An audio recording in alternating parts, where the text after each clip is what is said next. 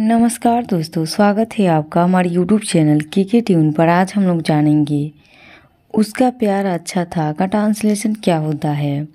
Video की शुरुआत करें, उससे पहले चैनल को सब्सक्राइब कर ले बेल आइकन को दबाना ना भूले। चलिए वीडियो की शुरुआत करते हैं और जानते हैं, उसका प्यार अच्छा था। इसका सही जवाब होगा हीज लव वाज गुड आज के वीडियो में इतना ही।